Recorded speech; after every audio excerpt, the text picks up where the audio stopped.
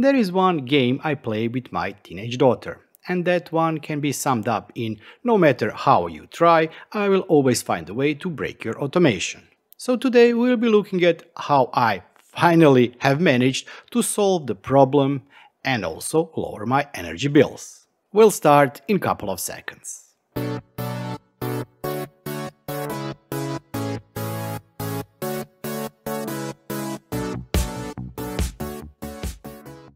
Today's video is sponsored by Switchbot, whom I really thank for both sponsoring this video and also for sending me all those nice goodies that have helped me create this video. And this video, sponsored by Switchbot, is also part of the Energy Challenge. This is a series of videos by multiple creators, created in partnership with If This Then That.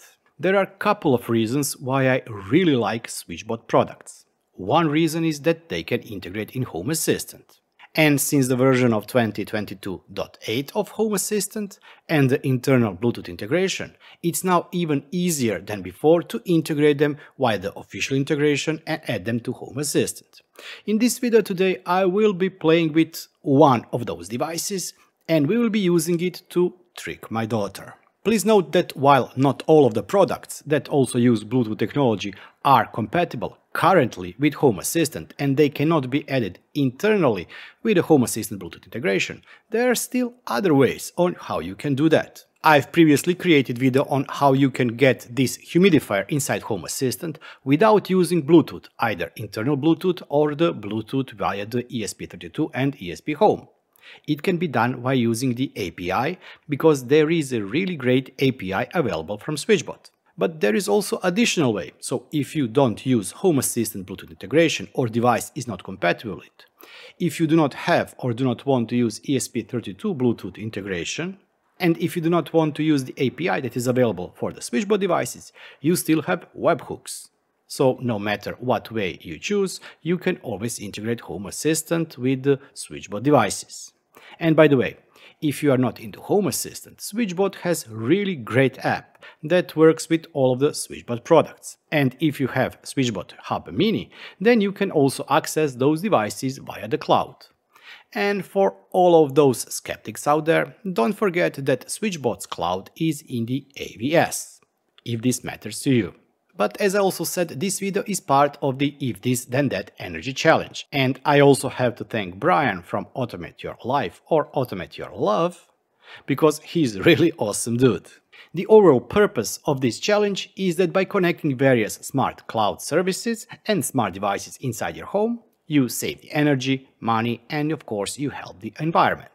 If you want to take the challenge, just click on Take the Challenge and fill in this web form. There are just 4 simple steps to join this energy challenge and if you have any issues, you can also look at the energy challenge tips. Here you'll find tips that will help you with this energy challenge and if you need help, you can find it in this document on how to calculate your potential savings. But that's not all. Switchbot has partnered with More Trees HQ and they are planting trees in your name if you do take that challenge. Let's talk about my problem.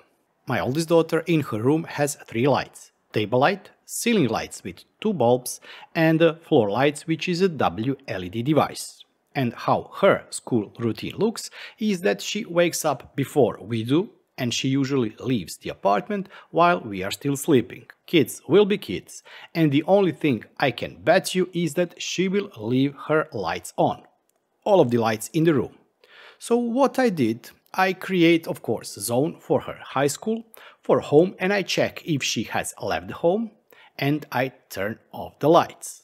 But unfortunately, she replaced her Android phone with the iPhone, and no matter how hard I try and do, and by using two applications, Tado and Home Assistant mobile app, the iPhone simply stops sending or updating the location after some time.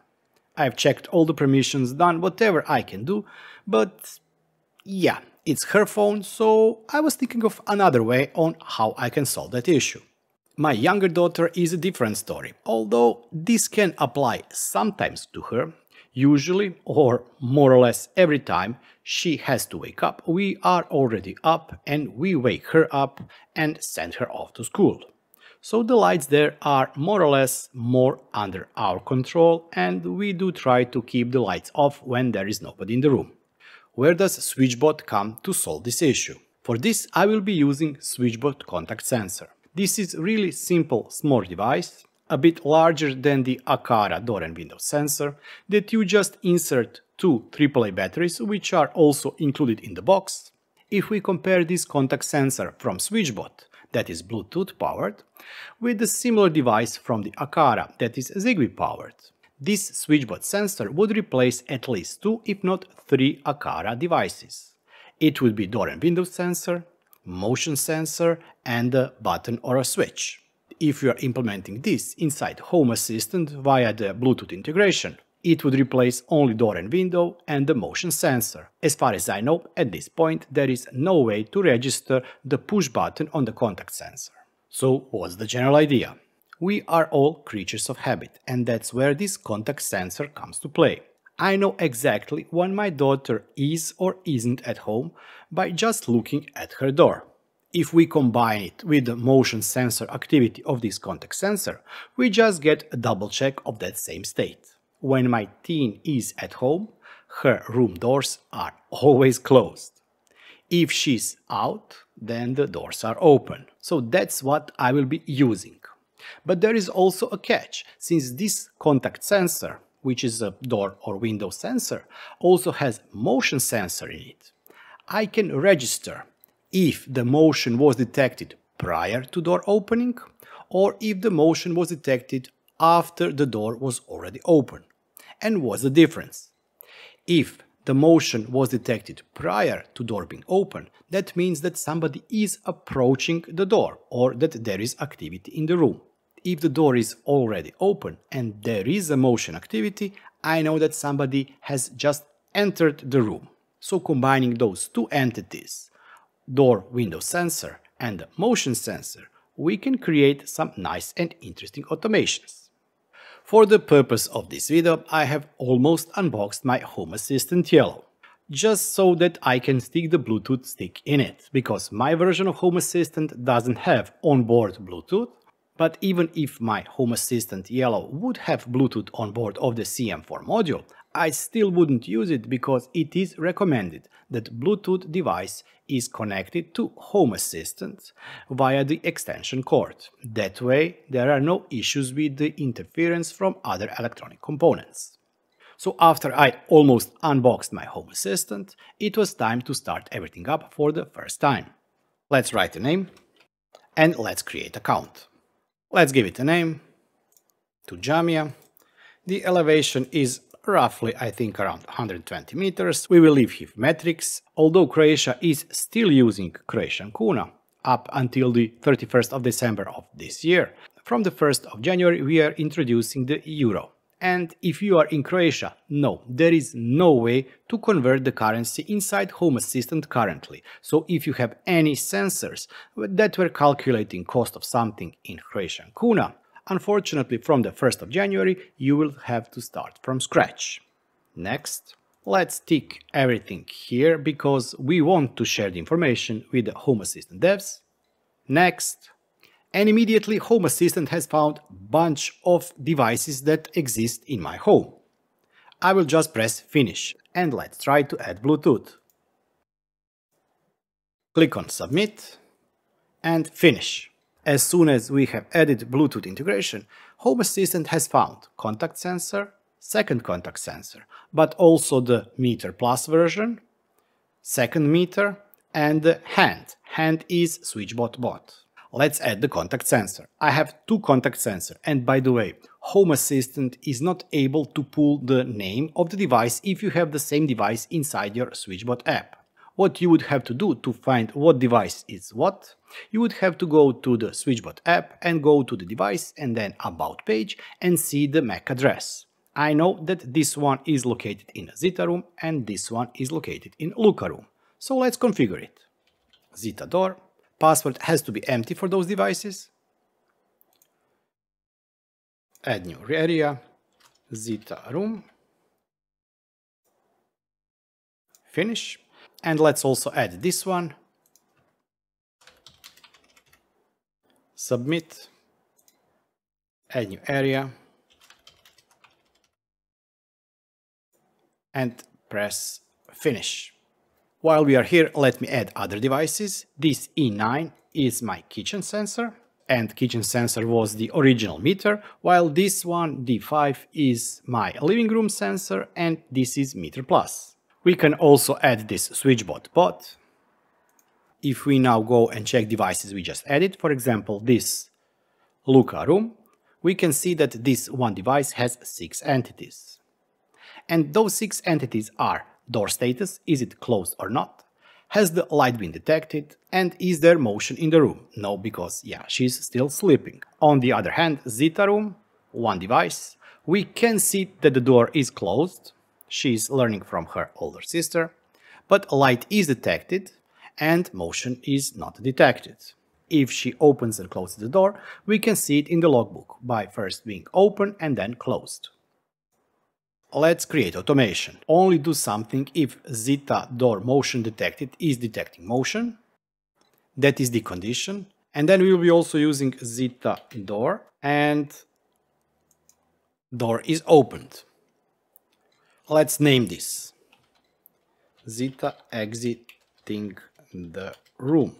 Trigger will be Zita door. If the Zita door is opened, and the condition that the Zita motion detected is detecting motion, then we can create action. And that action, for example, can be device Zita desk turn off Zita desk light.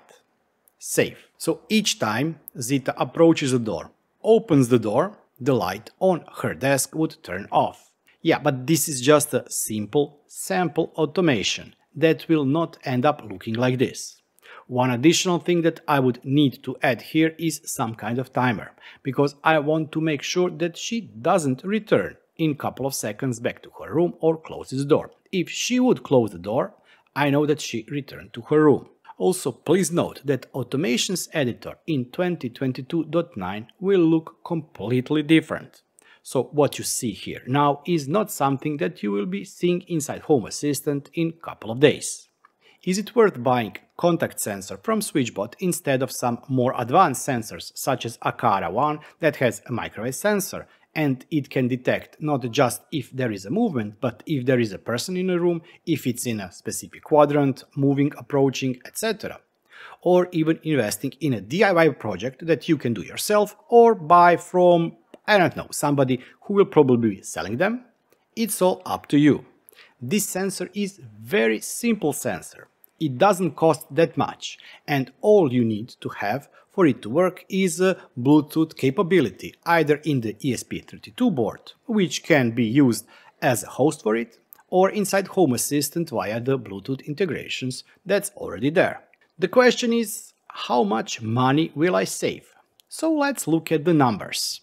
Combined power usage of these three light bulbs and this LED strip is 80 watts if I calculate that the light is on for 4 hours a day when there is nobody in the room, that's total of 0.32 kilowatt hours per day. And if we take in this calculation that, for example, this is needed only during the school days, although it's not just school days, and the total number of school days is 175 school days per calendar year, we get to the number of 56 kilowatt hours just for this table light those two ceiling lights or one ceiling light with two bulbs and this WLED light. Current price of kilowatt hour in Croatia is 0.9535, which roughly is 0.13 euros or 13 cents per kilowatt hour. Total cost of running these lights in that room for 4 hours for 175 days a year is 53.4 kunas,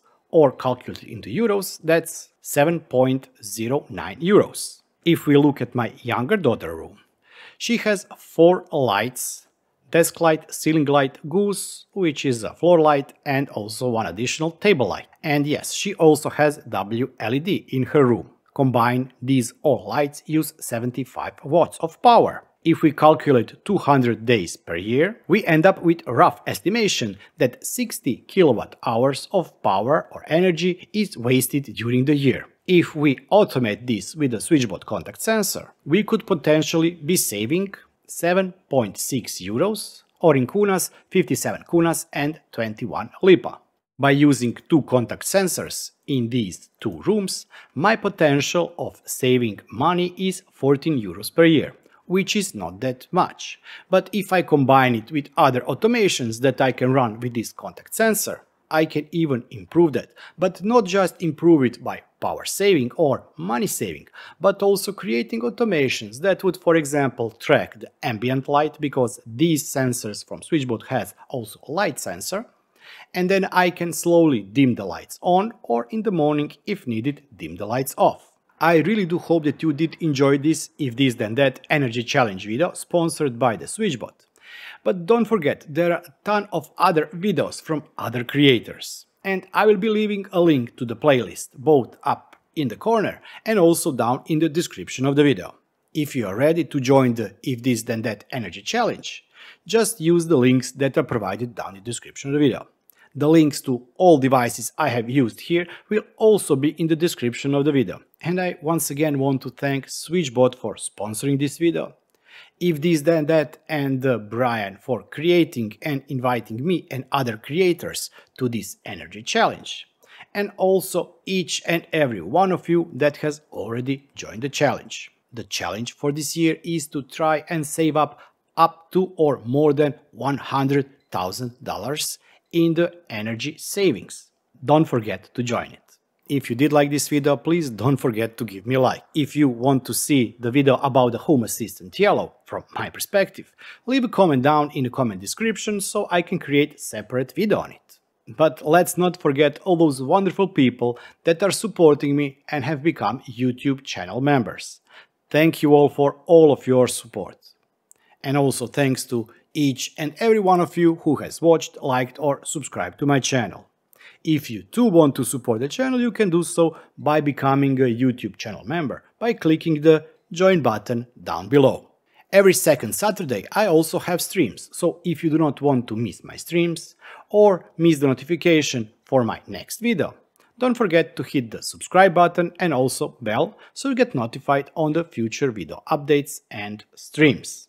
And I'll be seeing you next time. Until then, bye bye and have fun.